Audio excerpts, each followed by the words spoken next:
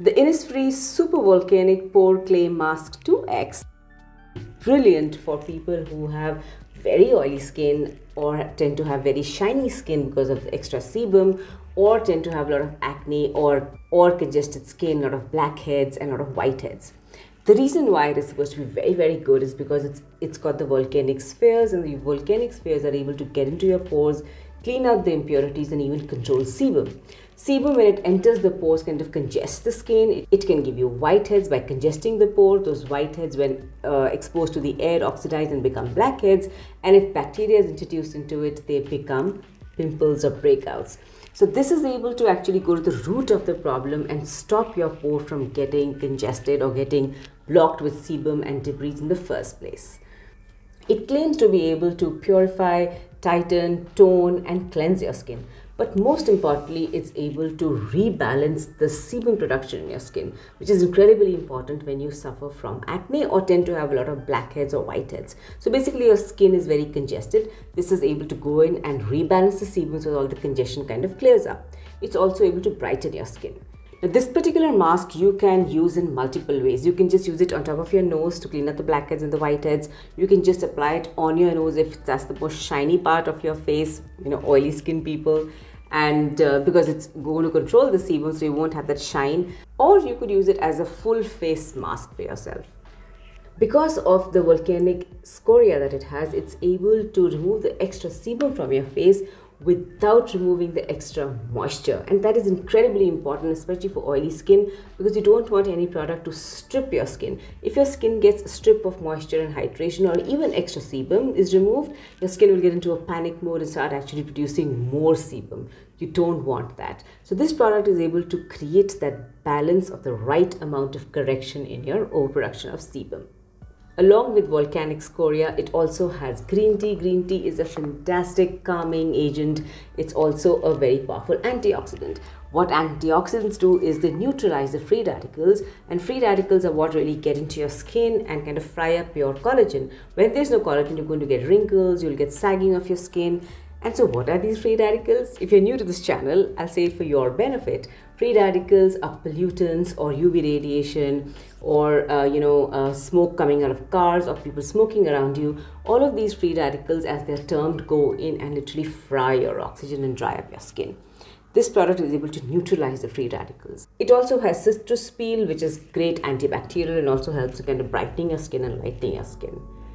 The mask is very creamy. It's like a clay mask, but it's very, very creamy. The, a little quantity goes a very long way. So you don't need to use too much. If you use it twice a week, it'll easily last you from between um, six months to seven months for sure. The burning question is will it stop your acne?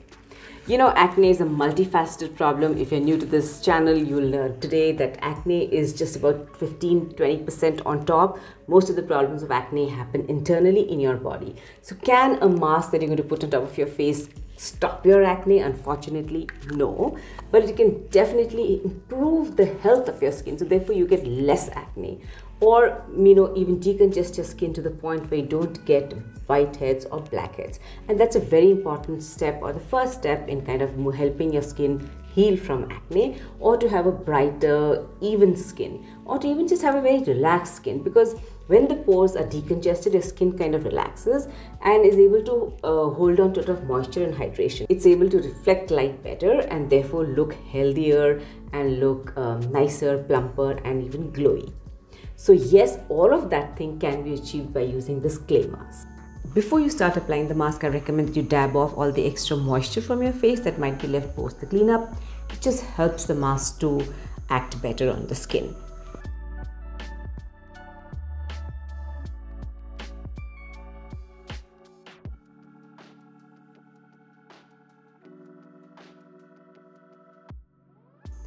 The mask comes in this beautiful bottle of course, Innisfree packing is really nice. It's so uh, in line with what the content of the packaging is. You need very little quantity, you don't need too much. It goes on very smoothly all over your face. So I'm going to begin with that.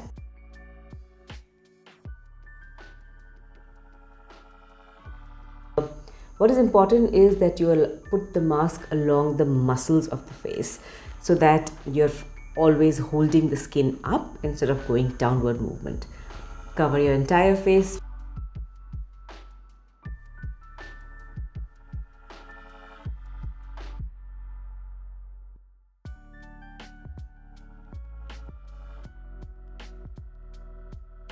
It doesn't feel dry to the skin at all. It, even though it feels dry to touch, the skin doesn't feel stretchy or pulled or taut, which is um, something that you experience when you put most of the other clay masks. This still feels very, very comfortable on the skin, which is incredibly important for someone like me who has dry skin because you obviously don't want your skin to feel dehydrated after a mask. So surprisingly, this clay mask is very well formulated and works beautifully for dry skin as well. Removing it is a little bit of an exercise. So I move in the extra with um, first a uh, wet tissue.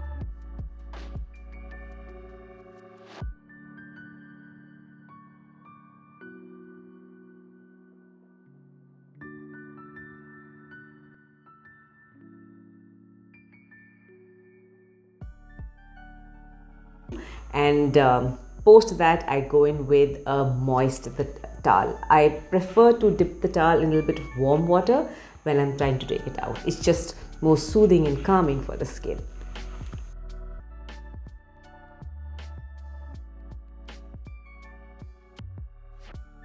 Can you see the pop or is it just me?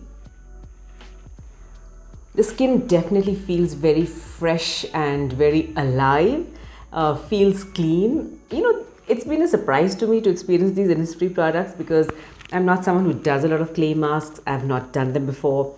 And when I used this, I definitely felt my skin really clean and um, even decongested to a great extent and very, very calm. So I would recommend this mask for, of course, anybody who has oily skin or who has whiteheads and blackheads or has congested skin. I also am quite comfortable recommending it to anybody who has combination skin, especially combination to oily skin or combination to dry skin even because this does not dehydrate your skin at all. Doesn't make you make it feel stretchy, doesn't make it feel dry. So it's a good skin uh, mask to use, you know, especially for combination skin because it's so hard to get products specifically for combination skin. But even if you have dry or oily skin or sensitive combination skin, this mask will work beautifully since I have dry skin and I have used this mask at least three times already and felt very happy with it, what I can recommend is that it's completely fine to be used on dry skin as well, especially when you want your skin to just kind of clean up, you know, the little bit of um, congestion in your skin to clear up. It's very good. I would recommend not keeping it for the full 15 minutes because you don't want any sebum extraction that this mask is really good for. You just want a good clean up and you want a good, um, you know, pop to your skin. So use it on your dry skin as well if you need it. I would also recommend this for sensitive skin. It's in very rare cases that the volcanic spheres or clusters irritate skin. But um, you know, if you are prone to a lot of irritation and allergies with products, you would possibly uh, do a patch test before you start. But in my opinion, I don't think it should irritate at all. It's a very very gentle mask.